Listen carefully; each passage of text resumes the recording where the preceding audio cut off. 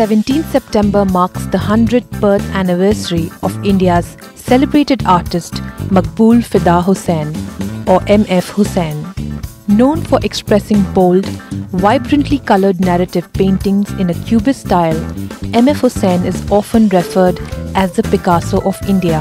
But for the barefoot, silver maned MF Hussain, controversy and fame went hand in hand.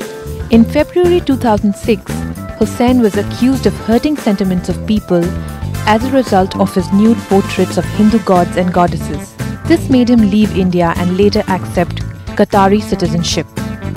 Here are six interesting facts about MF Hussain. A self-taught artist, MF Hussain painted cinema hoardings in 1930s and 1940s in Mumbai. He even worked for a toy company designing and building toys to earn extra money. Hussain made his first film through the eyes of a painter in the year 1967, which was indicated at the Berlin Film Festival and won a Golden Bear Short Film Honor. A South Mumbai club famously denied entry to MF Hussain, seeing his bare feet. The truth is, Hussain likes to feel the earth under his feet and insists he gets a tremendous amount of energy from that physical contact. Along with Pablo Picasso, MF Hussain was a special invitee at the Sao Paulo Biennial, Brazil in 1971. Hussain was mad about acting of Bollywood star Madhuri Dixit is a well-known fact.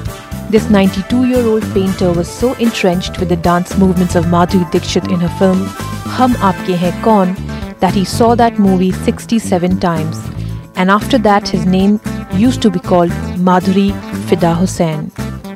In the year 2010, the Jordanian Royal Islamic Strategic Studies Center named Hussain as one of the 500 most compelling Muslims.